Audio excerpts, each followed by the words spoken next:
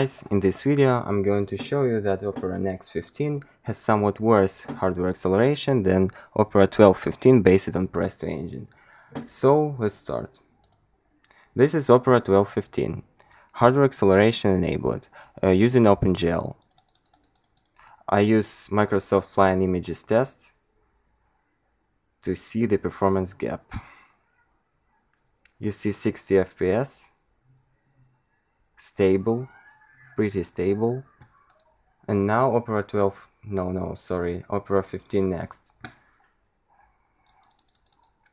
It is based on Chrome engine and it has somewhat even lower performance than Chrome, as I noticed. You see 42, 41. So, this all that I wanted to show you. Thank you.